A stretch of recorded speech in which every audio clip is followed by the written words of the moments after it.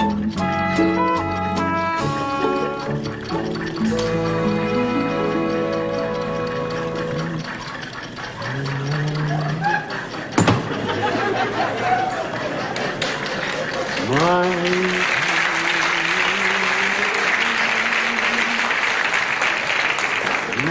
time is my time.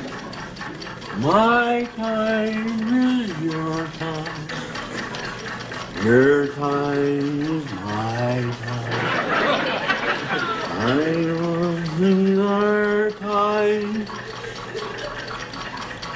For God's sake, this man cannot remain in power. Have you noticed that as everything around you seems to decline, one thing still grows? It is the power of your rulers. None of their plans and directives have solved your problems or made your life better. The only result has been their increased control over you at the cost of your freedom.